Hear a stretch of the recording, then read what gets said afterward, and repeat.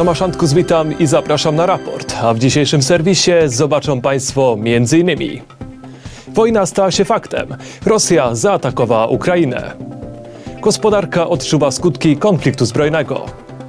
Wracamy do sprawy zaginionych kobiet z Częstochowy. Ostrzał granicy, eksplozje w miastach i jak wynika z nieoficjalnych informacji, setki ofiar. Serwis zaczynamy od dramatycznych wydarzeń na wschodzie. Dziś w nocy Rosja zaatakowała Ukrainę. Kolumny rosyjskich wojsk przekroczyły wschodnie i południowe, a także północne granice kraju. Stało się to, o czym mówiło się od dawna. Dziś w nocy, dokładnie o 3.45, Putin wypowiedział Ukrainie e, wojnę. Walki toczą się w wielu miejscach kraju. Rosjanie prowadzą ostrzał ukraińskiego terytorium z lądu i powietrza.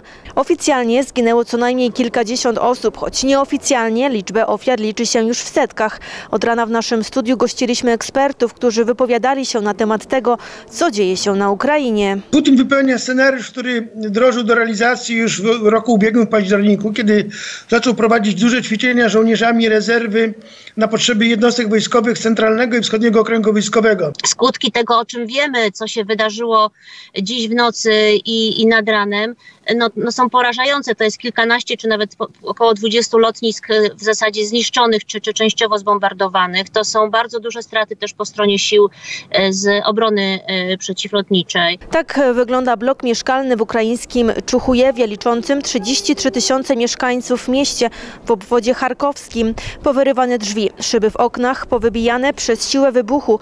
Dorobek życia wielu ludzi w drzazgach i strzępach. To wynik rosyjskiego ostrzału, który miał miejsce dziś rano. Takie sytuacje można by mnożyć. Po trwającym już kilkanaście godzin ataku Rosji na Ukrainę część mieszkańców podjęła decyzję o ewakuacji. Pierwsi uchodźcy z Ukrainy są już w Warszawie, przyjechali pociągiem. Szacuje się, że do naszego kraju może przyjechać nawet 3 miliony Ukraińców. Konflikt zbrojny na Ukrainie może okazać się również tragiczny w skutkach, jeśli chodzi o stan gospodarki na świecie. Co w tej całej układance grozi zatem Polsce? Na te pytanie odpowiedzieli ekonomiści. Jak poradzi sobie światowa gospodarka w obliczu kryzysu zbrojnego na Ukrainie? Co grozi krajom z nią sąsiadującym? Czy można spodziewać się radykalnych podwyżek cen, m.in. paliwa czy produktów spożywczych? Na te pytania próbują odpowiedzieć ekonomiści. Współczesny świat jest bardzo zglobalizowany, opleciony siecią łańcuchów dostaw. E, I tego typu sytuacja prowadzi do zakłóceń w tych łańcuchach dostaw. To powoduje wzrost cen surowców, produktów, opóźnienia w produkcji, a zatem na pewno czeka nas dodatkowy impuls inflacyjny. A na to nakłada się czynnik spekulacyjny, dlatego że cały świat jest pokryty rynkami, na przykład giełdami.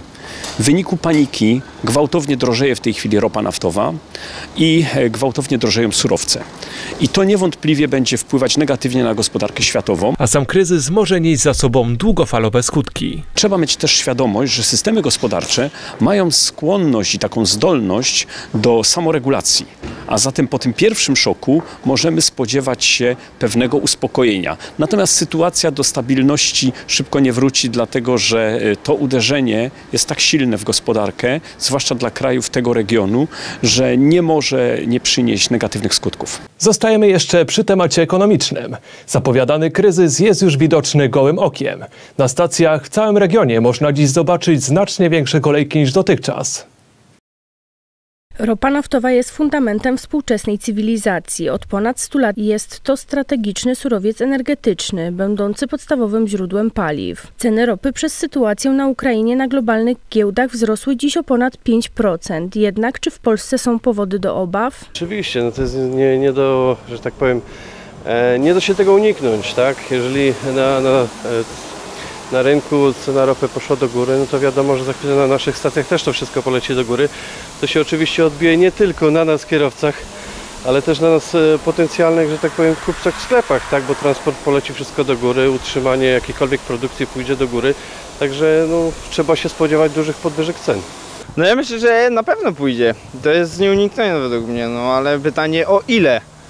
Czy pani obawia się wzrostu ceny przez to, co teraz dzieje się na Ukrainie? Baryłka ropy dzisiaj już 100 dolarów kosztuje. Oczywiście, że się obawiam. Będzie nas stać na to, żeby poruszać się samochodami, czy może być tragedia finansowa w Polsce?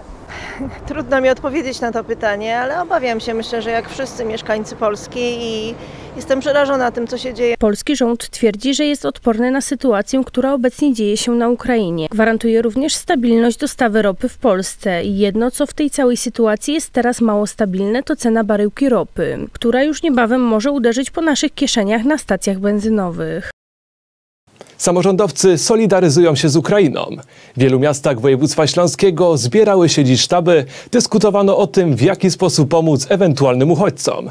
Takie konferencje odbywały się m.in. w Rybniku i w Sosnowcu. 28 dzielnica w Rybniku, w tym miejscu, w tym lokalu, zawsze e, Ukraińcy, którzy e, przebywali w Rybniku i w okolicznych miastach, zawsze mogli liczyć się na pomoc. Także dzisiaj od rana urywają się tu telefony. Zobaczcie Państwo sami, e, ile ludzi przemieszcza się dzisiaj przez to jedno niewielkie pomieszczenie. Byliśmy na miejscu, słuchaliśmy tych relacji mieszkańców, którzy pochodzą z Ukrainy, ale na dobre zadomowili się już w Rybniku. To oni od rana są w kontakcie ze swoją rodziną właśnie na Ukrainie. Ja od piątej rano już po prostu wydzwaniali do mnie znajomi, którzy z Kijowa chcieli jakby przekroczyć granicę, ale zawrócili ich, nie puścili.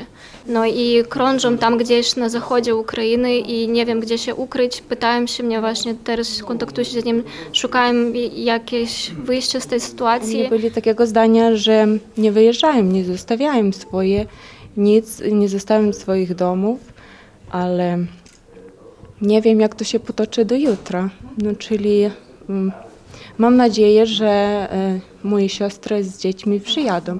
Nie tylko Ukraińcy mieszkający w regionie reagują na rosyjską inwazję. Także samorządy w województwie śląskim zwoływały dzisiaj sztaby i podejmowały decyzje o organizowaniu wsparcia, między innymi w Rybniku czy Sosnowcu. E, mogę Państwu powiedzieć, zapewnić, że po rozmowach z Panem e, Konsulem poniedziałek spotykam się z przedstawicielem grupy Ukraińców mieszkających na terenie naszego kraju, właśnie tak dobrze mówię, przedstawicielem i będziemy chcieli jak najszybciej uruchomić e, pełnomocnika do spraw e, Ukrainy, tak żeby mieć bezpośredni, na szybko kontakt e, z Ukrainą, z Ukraińcami na terenie naszego regionu. Gotowe miejsca na przyjęcie ewentualnych uchodźców czekają już i są przygotowane na terenie Rybnika.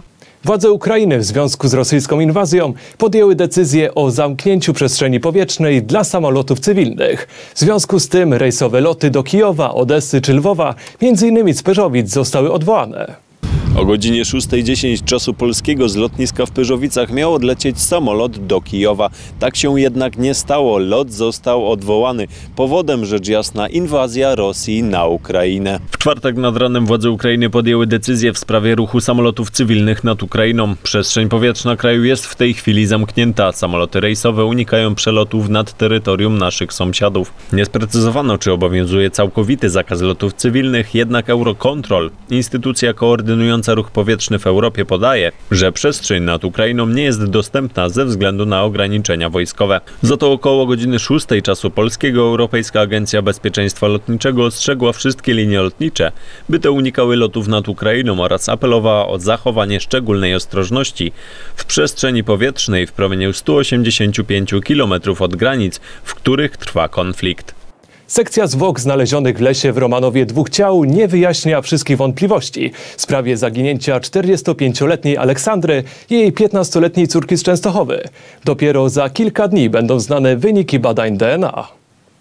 Mieszkańcy Częstochowy wciąż nie mogą wierzyć, że 45-letnia Aleksandra i 15-letnia Oliwia, do niedawna mieszkanki tego osiedla na ulicy Bienia, zostały zamordowane. Powiem szczerze, bydlaka. Jeżeli to ten człowiek, Ochyda, ja dziękuję. Jestem normalnie zdruzgotana takimi rzeczami, że w ogóle miały miejsce na naszym osiedlu. Okropne. Choć nadal nie potwierdzono tożsamości znalezionych kilka dni temu zwłok dwóch kobiet w lesie pod Częstochową, śledczy nie mają złudzeń, że to ciała 45-letniej Aleksandry i 15-letniej Oliwii, które zaginęły 10 lutego i zostały pogrzebane w Romanowie. Na identyfikacyjnych badań DNA będziemy musieli poczekać kilka dni. Próbki do badań zostały pobrane wczoraj podczas sekcji zwłok. Wczoraj późnym popołudniem prokuratura ujawniła wstępne wyniki. Wynika z nich, że młodsza z kobiet miała zostać uduszona. Wciąż jednak w sprawie pozostaje wiele pytań. Po przeprowadzonej sekcji biegli nie byli w stanie natomiast odnieść się co do przyczyny zgonu starszej 45-letniej kobiety. W toku tego postępowania zostaną przeprowadzone szczegółowe badania histopatologiczne i toksykologiczne, na których wyniki będziemy musieli poczekać co najmniej kilkanaście dni. W związku z zaginięciem kobiet aresztowano 52-letniego mężczyznę, to Krzysztof R., który miał być znany ofiarom. Usłyszał zarzut podwójnego zabójstwa. Nie przyznaje się do winy i odmawia składania zeznań. Rybnik bije rekordy, jeśli chodzi o wymianę kopciuchów na piece ekologiczne. W kraju nie ma sobie równych. Mieszkańcy tylko w ostatnim kwartale ubiegłego roku złożyli 806 wniosków o wymianę pieca na nowy. Co do tego, jak oddycha się w Rybniku, zdania są podzielone. Gorzej się oddycha. Znacznie. Na wieczór niech pani wyjdzie. Nie jest źle, wydaje mi się. Jak tu się sprowadziłem, to śnieg, no tak 7 dni i był czarny. Teraz już długo, długo. Jest, jest, duża różnica. Tymczasem w Rybniku, od lat zajmującym czołowe miejsce w rankingu najbardziej zanieczyszczonych miast w Europie, oddycha się lepiej. Tak pokazują liczby. Jakieś 10 lat temu mieliśmy ponad 150 dni z zanieczyszczeniem e, powietrza takim e, pyłem, pyłami PM10, PM2,5. E, W tej chwili tych dni mamy 67 za ubiegły rok. W poprzednim roku mieliśmy jeszcze mniej. Czasy, kiedy Rybnik bił rekordy poziomu pyłów zawieszonych PM10 powoli mijają. Teraz miasto bije kolejne rekordy. Rybnik najszybciej w kraju wymienia stare piece centralnego ogrzewania. W zeszłym roku nasi mieszkańcy złożyli 4600 wniosków, a w ostatnim kwartale ponad 800. E, To naprawdę sporo. Program Czyste Powietrze zakłada, że w ciągu dekady z terenu całej Polski zniknie około 3 milionów kopciuchów. W województwie śląskim do wymiany jest jeszcze około 300 tysięcy kotłów. Tłusty czwartek to jeden z najsłodszych dni w całym roku. Tradycyjnie z marmoladą, a może z różą. Sprawdziliśmy, jakie pączki tego wyjątkowego dnia preferują mieszkańcy regionu. Miłośnicy pączków czekali na ten dzień z utęsknieniem. Zgodnie z tradycją w tłusty czwartek można się obiadać do woli. Tego dnia liczba pochłoniętych kalorii nie ma żadnego znaczenia. Liczy się tylko frajda z zajadania i wspaniały smak tych wyjątkowych słodkości. Lubię wszystkie, tylko oprócz nadzienia różowego. Także różanego znaczy, także wszystkie po prostu uwielbiam. No i warto było czekać, no niestety kolejka jest. Dziś różą i z marmoladą tylko i wyłącznie.